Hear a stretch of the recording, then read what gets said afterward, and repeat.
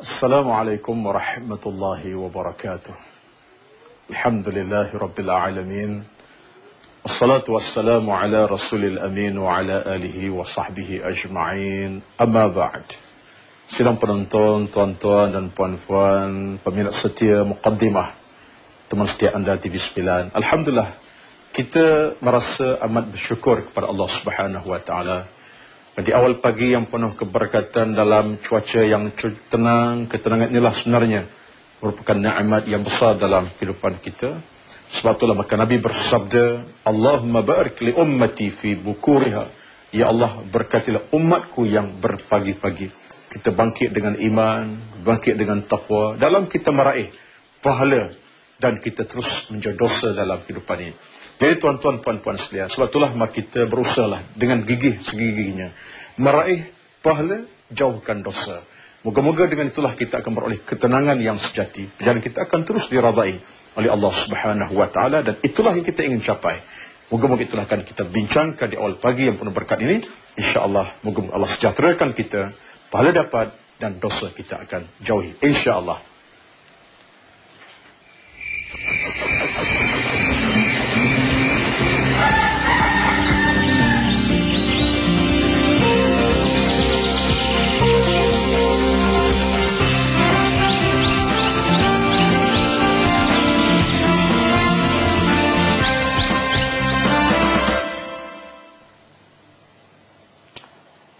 Alhamdulillah dalam perbincangan kita di awal pagi yang berkat ini kita akan bercakap dan berbicara sesuatu yang akan dapat merangsang hati dan perasaan kita.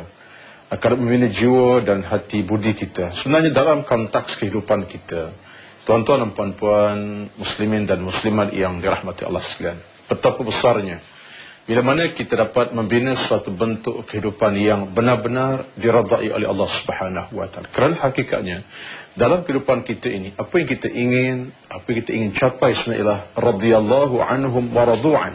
Dzalika liman khasyiya rabbah.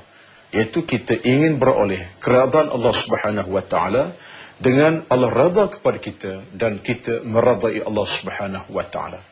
Para ulama kita berkata bahawa apa menjadi kekuatan dalam hidup ini ialah bila mana kita dapat mencari meraih pahala dan pada masa sama kita menjauhkan daripada dosa-dosa yang boleh memberi bebanan kepada kehidupan kita. Saya metik pandangan Al-Imam Al-Ghazali rahmatullah yang berkata bahawa pahala adalah merupakan tiket kita untuk beroleh kejayaan dan keselamatan. Namun begitu, harus diingat bahawa dosa juga merupakan tiket yang akan kepada bencana dan musibah di padang mahsyar nanti. Suatulah kita dalam hidup ini, kita mesti ada suatu perimbangan apa yang kita perlu imbangkan ialah tentang di mana kita dalam konteks kehidupan kita seharian. Sama ada kita nak melakukan kebaikan ataupun kita ingin berterusan melakukan dosa kesalahan. Kita tak nafikan, kita insan yang lemah. Ada kelemahan tertentu dalam kehidupan kita. Kita tidak komplit, kita tidak maksum, kita bukan nabi-nabi, tidak rasul. Tetapi pada hakikatnya ialah seorang mukmin itu Allah sebut dalam satu ayat yang sepatut menjadi peringatan kepada kita. Bila mana Allah sebut, Ya ayyuhallazina amanu wal tanzur nafsum ma qaddamat li ghadin wattaqullah. Hendaklah kamu sentiasa ingat apakah yang akan kau bawa di depan Allah Subhanahu wa taala keesokan harinya. Ini menunjukkan bahawa betapa kita perlu ada suatu kekuatan yang akan merangsang upaya kita. Dalam hakikat kita mencari sesuatu yang baik yang namanya pahala dan pada masa yang sama kita menjauhi dosa-dosa yang boleh merosak dan membebankan kehidupan kita. Sebab itulah tuan-tuan puan-puan sidang penonton yang dirahmati Allah Subhanahu wa taala. Dalam hal inilah ya kalau kita balik kepada konteks agama kita Islam yang kita cinta ini, betapa Islam sentiasa mengundang, mengajak, membimbing sentiasa meminta kita supaya mencari pahala dan terus berusaha mencari kebaikan kepada dalam diri. Wasari'u ila maghfiratin min rabbikum sebagai contoh dan bersekelah kamu kepada keampunan Tuhan kamu. Ini menunjukkan betapa Islam menyuruh kita supaya mencari pahala yang akan menimbulkan kekuatan demi kekuatan dalam konteks peradaban amal kita seharian. Demikian Nabi pernah bersabda, ingatkan kita supaya fastami'u ilal khairi. Hendaklah kamu sentiasa mendengar kepada kebajikan. Bahkan dalam hadis yang sahih diriwayatkan daripada Bukhari dan Muslim yang disebut dalam kitab Bukhari Muslim menyatakan bahawa Nabi bersabda badiru bil a'malis salihati hendaklah kamu bersegera kepada amal-amal yang saleh. Ini menunjukkan betapa mencari pahala itu sesuatu yang dirangsang oleh agama Lepas tu dalam hidup ini kita ada kekuatan, kita ada upaya, kita ada kemampuan, kita ada kekuatan sebenarnya untuk mencari pahala supaya akhirnya pahala itu menjadi perkara dominan di dalam kehidupan kita. Menyeronokkan ya bila betapa kita melihat pandangan yang disebutkan Ibnu Qayyim rahmatullah berkata bahawa fungsi pahala dan kebajikan itu sebenarnya terselah dalam dua keadaan. Yang pertama, bila mana kita ada keyakinan yang penuh kepada agama kita. Itu timbul keseronokan timbul keinginan, timbul kemahuan kita mencari pahala dalam hidup ni.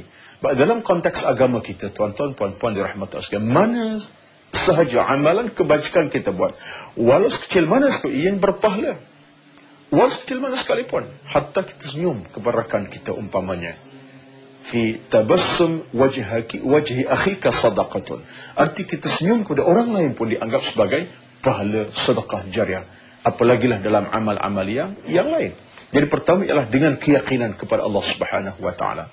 Yang kedua, dalam kita membina pahala dalam hidup ini dengan kita sentiasa berusaha untuk meraih apa yang Allah janji kepada kita. Sebabnya yang yang bulat tak datang bergolek kepada kita.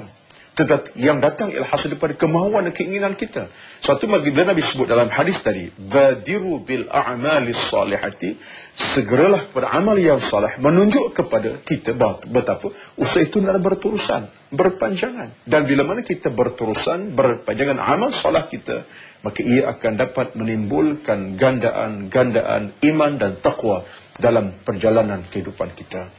Al-Imam Ibn Al-Qayyim juga pernah berkata bahawa bila mana timbul dalam hati kita perasaan sono, cinta kepada kebaikan-kebaikan dalam hidup, ianya akan menggandakan lagi pahala dalam kehidupan kita. Teringat saya satu hadis Nabi SAW yang mana Nabi bersabda daripada Abu Sa'id Al-Khudri radhiyallahu anhu. "Idza aslama al-'abdu fahasuna islamuhu yukaffiru Allahu anhu kull sayyi'atin kana zalafaha." Yang, bermaksud, yang bermaksud berarti bila mana kita ini beragama Islam dan menganut Islam, beramal dengan Islam dan kita melaksanakan ajaran Islam hidup ini, sesuatu kita buat Allah akan gandakan amalan kita. Mana dosa Allah akan hapuskan. Ini menunjukkan kepada kita tuan-tuan satu rangsangan betapa pahala sesuatu yang besar dalam kehidupan ini. Jadi amat malanglah ya kadang-kadang kita tidak merasakan pahala itu suatu benda yang besar dalam hidup ini. Bahkan kalau saya dapat uh, sebut dalam bahasa yang mudah, pahala ni tuan-tuan umpama tiket sebenarnya tiket yang melayakkan kita untuk masuki sesuatu pintu tertentu. Eh, kalau stadium, stadium lah. Tapi kita bukan soal stadium. Tapi kita adalah soal syurga. Maknanya, pahala tiket ke arah untuk kita melayakkan menjadi ahli syurga Allah subhanahu ta'ala. Justru tuan-tuan, puan-puan sekalian, artinya rangsang diri ke arah mencari pahala ini sesuatu yang besar dalam kehidupan kita. Namun begitu, jangan kita lupa bahawa dosa adalah merupakan perkara merencatkan amal kita dan kita akan bincang ketika kita nanti insyaAllah dalam topik berkait dengan dosa yang boleh merosakkan ibadat dan amalan kita. insyaAllah kita akan kembali seketika nanti insyaAllah. Alhamdulillah. Kembali kita bertemu dalam suasana pagi yang penuh ketenangan Moga-moga keberkatan pagi ini tuan-tuan akan dapat mengupayakan keimanan kita dan ketakwaan kita kepada Allah Subhanahu wa taala terutama dalam situasi perjalanan kita. Perjalanan yang disebutkan ulama sebagai perjalanan untuk meraih segala kebaikan. Segala janji manis Allah Subhanahu wa taala kepada kita. Sebab itu dalam satu ayat Tuhan berfirman, "Fastabiqul khairat" hendaklah kamu berlumba-lumba ke arah mencari kebaikan demi kebaikan. Amal yang saleh. Amal yang saleh pasti adalah pahala yang berterusan, yang berpanjangan. Kalau tadi kita bincang tentang nikmat pahala dalam hidup, sekarang ni tuan-tuan, satu di antara perkara yang harus kita ingat, yang boleh merencatkan amal kita, yang boleh merasakan keimanan kita, yang boleh membinasakan kehidupan ini ialah dengan sebab dosa ataupun az-zunub. Sebab itulah para ulama berkata bahawa Iyakum adalah kaum berhati-hati jangan kau memandang kecil akan dosa-dosa. Kerana sesungguhnya dosa itu akan membebanan kepada kehidupan kamu. Sebab itulah tuan-tuan, Al-Imam Ibnu Al-Layth As-Samarqandi pernah berkata bahawa tidak ada suatu perkara yang paling menakutkan aku dalam hidup ini ialah bila mana dosa itu terbeban dalam kehidupan aku. Tak ada musuh yang paling sering aku hadapi dalam hidup ialah dosa yang sentiasa merosakkan jiwa dan perasaanku. Bayangkan sikap watak para alim ulama di zaman silam. Apakah watak ini ada dalam kehidupan kita? Dan kita merasakan dosa itu musuh kita paling sengit. Bayangkan satu hadis Nabi yang pernah disabdakan Nabi sallallahu alaihi wasallam bahawa seorang mukmin itu melihat dosa itu bagaikan bukit akan runtuh ke atas batang tubuhnya, ke atas hidungnya. Dan seorang yang munafik dia melihat dosa itu sekadar lalat yang lalu atas batang hidungnya. Bayangkan tuan-tuan. Hadis ini satu perumpamaan yang cukup cantik. Perasaan seorang mukmin yang takutkan dosa, dia seolah merasakan bukit runtuh ke atas hidupnya. Ke atas batang tubuhnya. Ke atas batang hidungnya. Menunjukkan rasa bimbang dan takut. Suatulah seorang ulama kita yang terkenal, yang terkemuka. Abul Qasim Al-Junaid pernah berkata bahawa sebesar-besar dosa ialah bila mana kita tak merasakan ianya dosa Allah Subhanahu wa taala. Bermaksud seorang mukmin yang tidak merasakan dosa bebanan, dia memang berdosa kepada Allah Subhanahu wa taala. Subhanallah. Setelah saya mengambil pandangan yang telah diajarkan oleh Al-Imam An-Nawawi yang berkata bahawa sebaik-baik orang mukmin ialah mereka yang sentiasa beristighfar, yang sentiasa merintih kepada Allah Subhanahu wa taala. Sehingga disebutkan kepada kita bagaimana perlunya kita ni tuan-tuan sentiasa mengulang sebut ucapan istighfar. Astaghfirullahal azim.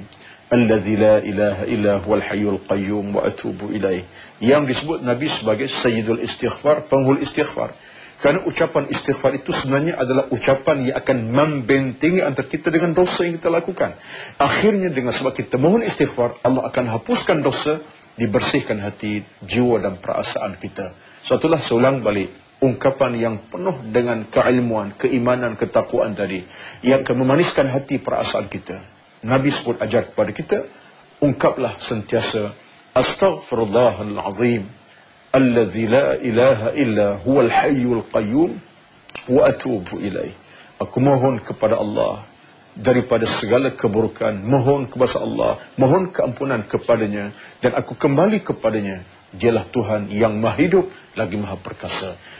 Ungkapan ini tidak kecil makna sebab ia akan melemahkan dosa kita, akan menghapuskan dosa kita. Sebab itulah dalam hal ini apa yang menjadi keutamaan kita ialah pertama sekali takutkan dosa itu. Seumpamanya bukit runtuh ke atas batang tubuh dan batang hidup kita. Perkara yang kedua tuan-tuan, kalau kita tengok kepada pengalaman para alim ulama di zaman silam, antara Imam Syafi'i sendiri yang pernah bertanya kepada anak muridnya yang ramai, ditanya apakah sebesar-besar musuh dalam kehidupan kamu. Maka jawab anak murid yang ramai itu katanya, sebesar-besar musuh dalam kami ialah kami takutkan dosa kami kepada Allah Subhanahu wa taala. Imam Syafi'i menangis dengan berkata, "Benarlah kamu kerana dengan sebab dosa itulah kamu akan berada dalam kegelapan. Kamu akan berada dalam keresahan, kamu akan berada dalam keadaan yang tidak diradai oleh Allah Subhanahu wa taala. Dan sebenarnya tuan-tuan dirahmati Allah sekalian, satu ketika Rasulullah sallallahu alaihi wasallam bertanya para sahabatnya, "Apakah dosa yang kamu fahami? Mal ithmu?" Para sahabat menjawab, "Ya Rasulullah, kami minta tahu apa dosa itu." Jawab Nabi SAW ialah Dosa itu adalah lintasan yang buruk dalam hati perasaan kamu. Menunjukkan sesuatu yang buruk dalam hidup itu dosa. Dan memang dosa ini tuan-tuan tidak membawa kepada kebaikan. Sekecil mana dosa sekali beri dosa yang besar. Suatu dalam hidup seorang mukmin dia tidak memperkecil dosa kecil dan tidak memandang sinis dosa kecil dan dosa kecil itu akan mendatangkan dosa besar kemudiannya. Bahkan kita lihat dalam sejarah peradaban umat sekalipun dosa kecil akhirnya membebankan kehidupan seorang yang beriman kepada Allah Subhanahu taala. Pepatah Melayu pun kata bahawa dari kecil lah menjadi bukit. Maknanya sekecil-kecil dosa kalau kita biarkan ia akan memburukkan kehidupan kita dan melemahkan jiwa dan perasaan kita.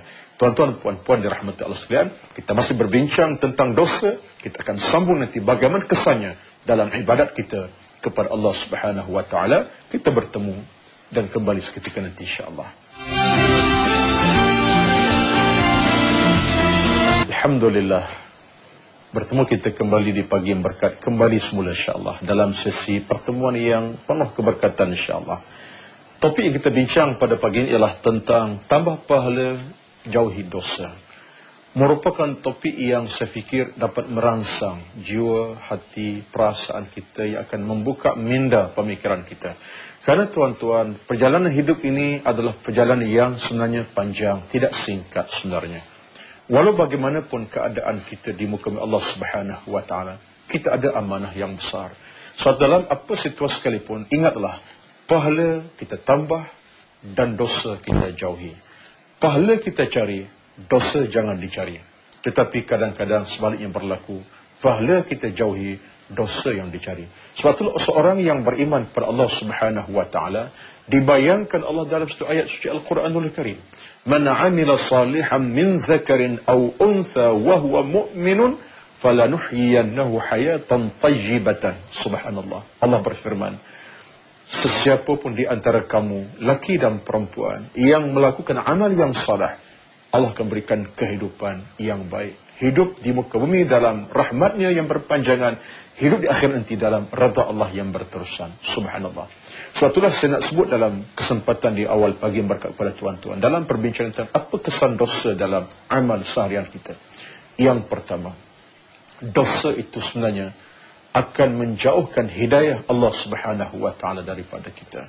Sebab dosa dia ibaratkan titik-titik hitam. Yang bila mana dia telah mencetuskan titik dalam hati kecil kita akan merosakkan kehidupan kita seterusnya. Sebab tu Nabi sebut, dosa itu umpama nuktatus sauda, satikan hitam yang akan masuk ke dalam hati kita, melemahkan jiwa dan perasaan kita. Sebab itulah hidayah Allah subhanahu wa ta'ala tuan-tuan, tak datang kepada orang-orang berdosa.